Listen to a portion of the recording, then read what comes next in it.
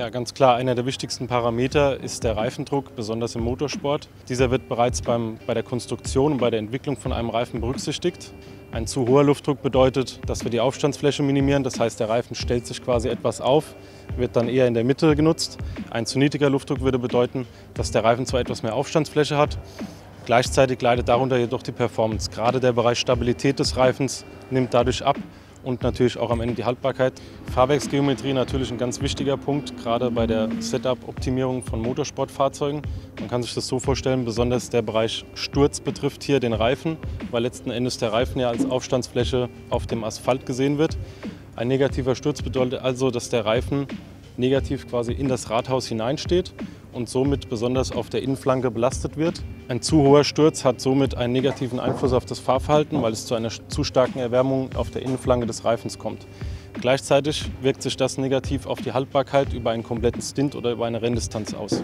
Das heißt, wir müssen auch bei der Fahrwerksgeometrie einen Mittelweg finden zwischen Performance und Haltbarkeit des Produktes oder Einteilung des Reifens über seinen Lebenszyklus in einem Rennen. Würde man den Reifen ohne Sturz fahren oder mit einem sehr niedrigen Sturzwert, hätten wir ein schlechteres Kurvenfahrverhalten.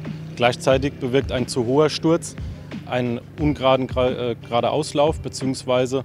ein nervöses Fahrverhalten auf der Geraden und eine extrem starke Erwärmung auf der Innenseite. Abhängig von den äußeren Bedingungen wird auch hier der Sturz verändert. Das heißt, abhängig vom Streckenlayout, viele Linkskurven, viele Rechtskurven, können auch je nach Achsposition die Sturzwerte variiert werden je nachdem, wie auch der Fahrer das äh, von seinem persönlichen Empfinden ähm, das Fahrzeug besser fühlt, beziehungsweise letzten Endes mehr Feedback von der Bereifung und von dem gesamten Setup sieht. Also neben dem Thema Luftdruck und Fahrwerksgeometrie ist natürlich auch die Aerodynamik und damit auch die dynamische Last auf dem Reifen ein ganz wichtiger Punkt.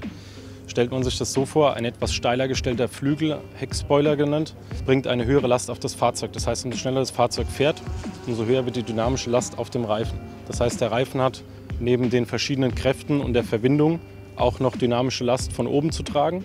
Gleichzeitig ist aber gerade besonders bei Regen oder auch für höhere Kurvengeschwindigkeiten etwas Aerodynamik bzw. Downforce sagt man dazu auch Abtrieb. Es gibt da je nachdem Englisch-Deutsch unterschiedliche Begriffe wird hier mit etwas mehr Abtrieb gefahren, etwas weniger. Abhängig vom Streckenlayout wird das Ganze variiert. Jeder Reifen hat ein sogenanntes Arbeitsfenster, in welches der jeweilige Fahrer den Reifen natürlich durch Anwärmen erstmal bringen muss. In diesem Fenster funktioniert der Reifen optimal. Wenn man sich das Ganze als Kurve vorstellt, die quasi leicht nach oben steigt, hat der Reifen einen sogenannten Peak. In diesem Peak kann er meistens bei entsprechendem Verkehr oder freier Bahn auf der Strecke die schnellste Runde erzielt werden.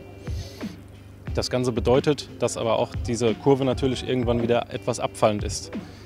Ein guter Fahrer muss also auch besonders in Rennserien wie dem GT Masters den Reifen über eine komplette Renndistanz einteilen.